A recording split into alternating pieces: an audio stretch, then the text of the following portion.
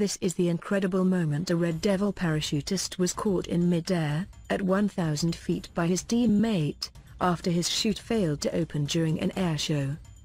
Thousands watched in horror as the soldier, from the Army freefall display team startled violently kicking as he hurtled towards the ground, when his parachute became tangled during the Whitehaven air show but his teammate managed to catch the soldier and wrap his legs around the deflated parachute, holding his colleague's weight until they landed in the water at Queen's Dock on the Cumbrian coast last night.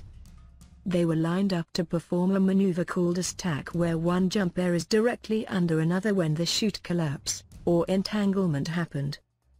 Both parachutists are safe and sound and did not suffer any serious injuries, according to event organizers. Onlookers have said they felt sick as they watched them tangled together and swiftly falling towards the ground. They landed in the water as thousands of anxious viewers looked on shortly after 7 p.m. Everyone clapped when they both popped up in the water and there was a big sigh of relief that they were both safe. A rescue boat picked them up and one of them gave a wave to show he was safe, according to Miss Milne. She told BBC Breakfast, he was so frantically kicking his legs that there was something seriously wrong. It was amazing how he managed to get into the water and not hurt himself or the man above him. Brian Sherwin, official photographer at the event, said that one of the soldiers must have had incredible strength to hold the weight of his colleague and his chute.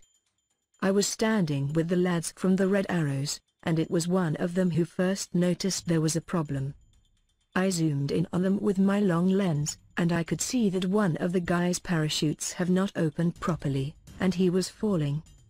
His partner steered over to him and kicking his legs, wrapped them around his parachute, holding his weight.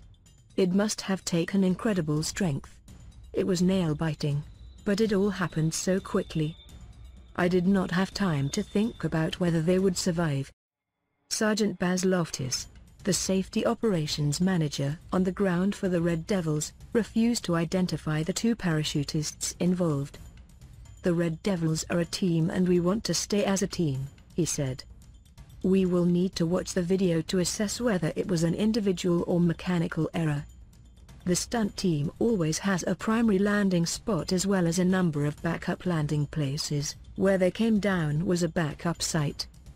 He added that the stricken parachutist was too close to the ground to deploy his emergency second parachute. Sergeant Loftus said, the team trained for this and this was an opportunity for their training to kick in.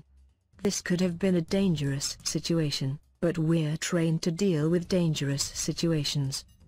The Red Devils formed in 1963 and carries out more than 60 displays every year, according to its website. It currently comprises of 12 serving soldiers from the three battalions of the Parachute Regiment, all of whom have to have at least three years experience. We can confirm that the Red Devil parachutists are both safe and sound. For the first time in 25 years they had a parachute fail, it said. One team member caught his teammate and brought him into Queen's Dock. Our safety procedures worked perfectly and a huge thank you to Whitehaven Marina for getting them out of the water so quickly.